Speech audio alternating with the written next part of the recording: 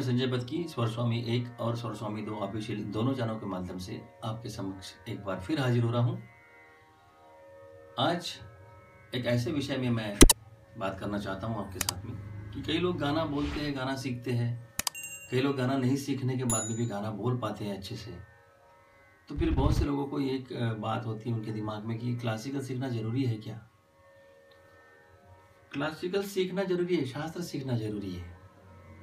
जब तक किसी भी चीज़ का नॉलेज आपको पूरा पूरा नहीं आता है तो आप उसमें आधा ही जान सकते हो।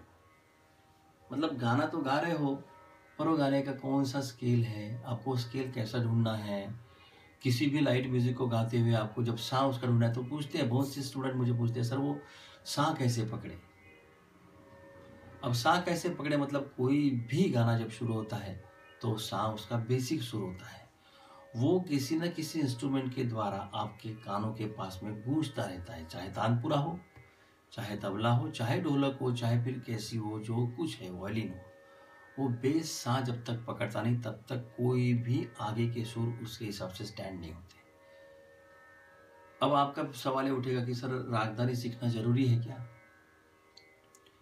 रागदारी सीखना ज़रूरी है, रागदारी गाना ज़रूरी नहीं है। रागदारी गाते बैठोगे तो फिर क्लासिकल शास्त्रीय संगीत के गायक बन जाओगे। वो गाना चाहते हो तो वो चीज़ सीखना ज़रूरी है, अगर गाना चाहते हो तो। पर अगर गाना नहीं चाहते हो तो लेकिन कोई भी गाना गाना चाहते हो तो शास्त्र का नॉलेज होना ज़्यादा ज़रूरी है। शास्त्र अगर जानते हो तो उस चीज़ का डर कम होता है कि कौन सा सा है गंधार वहाँ से कितना ऊँचा है? संगीत में जो सात सुर होते हैं, सारे गाँव पा निशा उसकी एक निश्चित जगह तय होती है।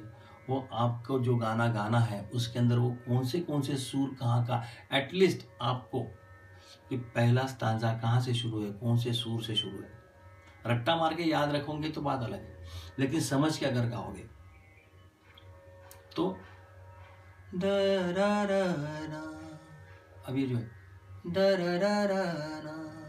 तो ये जब ग रे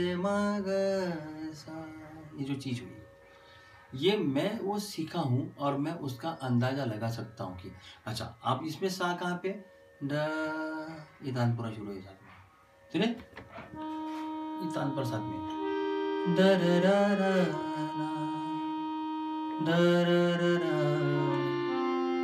र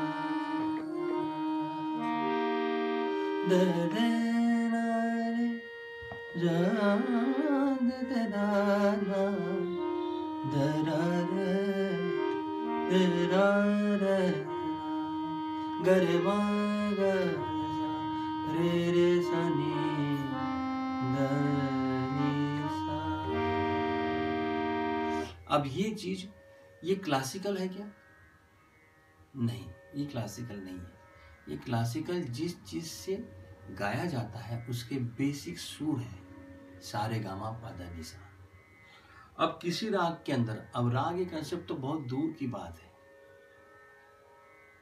आप जब लाइट म्यूज़िक गाओगे तो आपको इतना तो ध्यान में रहना चाहिए कि ये गाने में कौन से सुर है।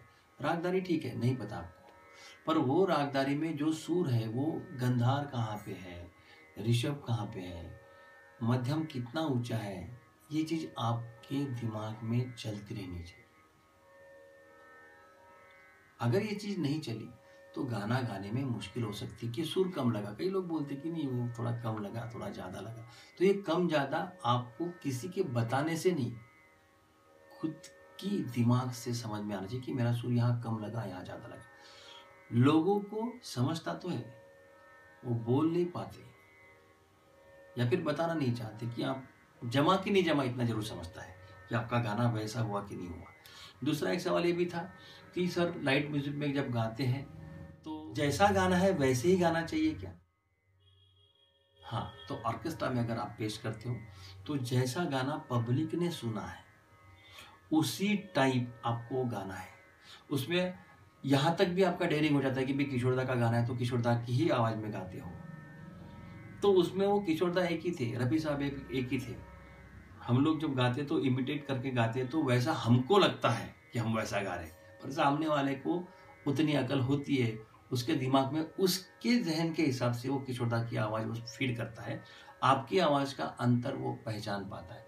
हम अपनी आवाज़ को ऐसा लगता है कि हमको तो लगता है किशोरदा जैसे गा रहे हैं क्योंकि हम उनको ध्यान में रखते हुए गाते हैं।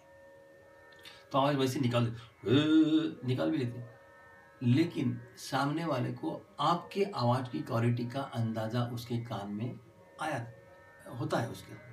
वो देखता है कि आपका गाना चालीस टक्के या साठ टक्के या सत्तर टक्के का हिसाब लगाता है किशोरदास जैसा डिक्टो गाया कि नहीं। अच्छा आवाज़ डिक्टो है कि नहीं, ये भी देखता है? गाना वैसे के वैसा गाया कि नहीं, ये भी देखता है। अगर वो आप बिल्कुल परफेक्ट गा लेते हो तो दिल से भी क्या बात है, वैसे तो गाना नहीं, ये भी बोल देता है। क्योंकि वो श्रोता रहता है, वो ले बैन रहता है, उसको कुछ भी लेन देन रहता। उसने जैसे गाना कैसेट में सुना है, वैसा अगर गाते हो तो आप बड़े ऊँचे आर्टिस्ट हो। बिल्कुल, बराबर है, पब्लिक ऐसी है पर जब आप आर्टिस्ट करके सामने जाते हो तो आपको चार बजाने वाले जो, साजिंदे बजाने वाले जो होते हैं वहाँ पे, साथ बजाने वाले, उन लोगों के सामने आपको, आपका नॉलेज कितना कम है, ये अगर बात दिल में लग गई तो आप वो गाने के साथ में न्याय नहीं कर सकते। दूसरी बात, आप गाना देख कर तो कभी गाना नहीं। ये कागज़ ऐसा रखा है और गा रहे हैं। आप बड़े बड़े आर्टिस्ट को देखते होंगे कि सामने स्टैंड पे वो लगा रहता है कागज़। वो पूरा गाना देख कर नहीं गाते। वो गाना पहले याद किया हुआ रहता है, वहाँ पे कहीं गलती ना हो रिकॉर्डिंग के टाइम या पेज के टाइम करके वो सामने रखा हुआ है नहीं से अच्छा है भैया, इस हिसाब से रखते हो। गलती हम लोग क्या करते हैं कि हम लोग पूरा गाना सा देख के, ऐसा, तेरा चेहरा अगर लिखने में तो कितना पूरा, आजकल तो ये आते हैं कि अंग्रेज़ी में T E R A C H E R A तो कोई पढ़ने वाला कुछ भी पढ़ सकता है। तेरा चेहरा कितना सुहाना तो कितना सुहाना है या कितना सुहाना है, शब्द भी वहाँ पे अपना रूप बदल के आ सकते हैं अंग्रेज़ी के जो लैंग्वेज में लिखे रहते हैं, हिंदी शब्द। जैसे किसी ने लिख दिया है कि अब मराठी में ड़ आता है, हिंदी में ल आता है तो इंग्लिश में आप जो लिखोगे तो J U L J U L ये झुड़ झुड़, ये झुल झुल, या झुड़ झुड़, ये आपको उसका नॉलेज होना चाहिए कि ये गाने में क्या है। लिखा है अंग्रेज़ी में तो Z U L Z U L लिखा है तो आप उसको झुल झुल पढ़ोगे। कोई लैंग्वेज आप पढ़ोगे, जैसे कई गायक होते कि वो वो उनका लैंग्वेज नहीं होता है और वो गाते जैसे मैं मराठी आदमी हूँ, अगर मैं बंगाली गाना गाऊँ तो मुझे बंगाली टोन मालूम है, बंगाली भाषा मालूम नहीं है तो भाषा में मेरी गलती हो सकती है। ऐसे कई गायकों की भाषा में जो हिंदी पिक्चर में गाते हैं, जिन्होंने तमिल गाने गाए, जिन्होंने बंगाली गाने गाए तो प्रोनाउंसिएशन में फ़र्क आ सकता है। तो आपको भाषा का भी नॉलेज जो कुछ लिखा है, उसका क्या अर्थ है, ये समझ के। यानी क्या क्या है? अगर किसी लैंग्वेज में आपको लाइट म्यूज़िक गाना है, अगर मराठी गाना गाना है तो मराठी लैंग्वेज का उस गाने का अर्थ क्या है? उस गाने के अंदर कौन से राग का प्रयोग हुआ है? या फिर कौन से सुर उसमें लगते हैं? इसका नॉलेज आपके अंदर होना चाहिए कि गंधार कितना ऊँचा है, उसका षड्ज से लेकर षड्ज कहाँ है, उसका गंधार कहाँ है, मध्यम कहाँ है, पंचम कहाँ है, वो चीज़ आपके दिमाग में आनी ही चाहिए।